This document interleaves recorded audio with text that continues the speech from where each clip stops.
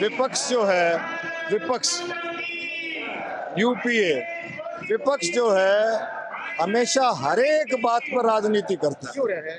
आपने देखा मणिपुर पर शोर मचाया, लगभग लगभग पंद्रह पंद्रह दिन संसद को ठप रखा माननीय गृह मंत्री ने बार बार आवेदन किया बार बार निवेदन किया कि भाई, बहस करवा लो, मैं जवाब देता हूँ।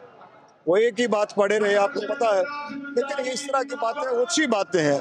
अब विपक्ष का, विपक्ष वाले अविश्वास प्रस्ताव लेके आए, अपनी बातें रख दी सारी की सारी। जब सुनने की बातें आई, सुनने की बातें आई तो सुनी नहीं, बीच में ही वॉकआउट कराए। वॉकआउट करके।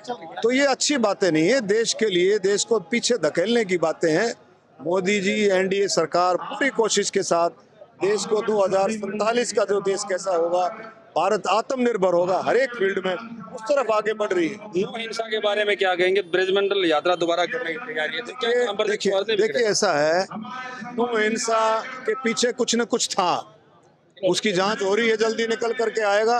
लेकिन बिल्कुल लेकिन बिल्कुल प्री प्लान था। हर एक दुकान पर हर एक ऑफ़िस में हर एक घर की छतों पर पत्थर पहले से रखना आप समझ सकते हो किस चीज़ का प्रतीक है। ये बिल्कुल सुनियोजित था पहले से प्लान था। और मैं कहता हूँ मैं इसकी भर्सना करता हूँ और लेकिन जहाँ जाँच चल रही है इसके क्या कारण रहे इस तरह की बात? जवाबदेही सरकार की नहीं है क्या? देखिए मैं बात समझे नहीं ये, तो ये प्लानिंग थी अब आपके घर में एक घर में जो है पत्थर रख रहे होगे एक पत्थर घर में रख रहे होंगे उसमें सरकार क्या करेगी? तंत्र फेल हो गया सरकार सरकार की सीआईडी की रिपोर्ट देखिए ऐसा है ये तो सब के लिए वो है लेकिन ये मैं जो आपने मेरे से पूछा है ये प्लैंड था। हमसे जुड़े रहने के लिए हमारे YouTube चैनल को सब्सक्राइब करें और नई वीडियो की नोटिफिकेशन के लिए बेल आइकॉन को दबाएँ।